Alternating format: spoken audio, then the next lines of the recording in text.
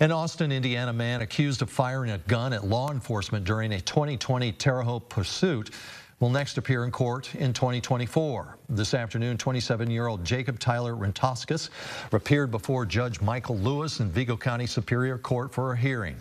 He faces various charges, including attempted murder and burglary. During Tuesday's hearing, Judge Lewis scheduled a pretrial hearing for 1.30 p.m. on February 13th of next year. Should the case go to a jury, the trial will be held on April 15th of 2024.